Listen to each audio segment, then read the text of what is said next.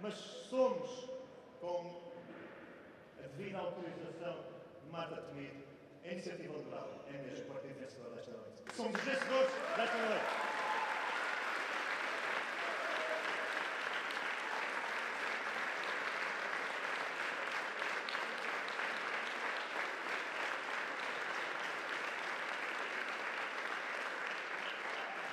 Mais do que sermos os vencedores desta noite, o ponto fundamental é mesmo que, olhando para os resultados, há quem tenha tido melhores resultados absolutos no passado, há quem tenha ficado até à frente da iniciativa liberal hoje, mas nós, nós somos os vencedores do futuro. Estamos a afirmar o futuro do país,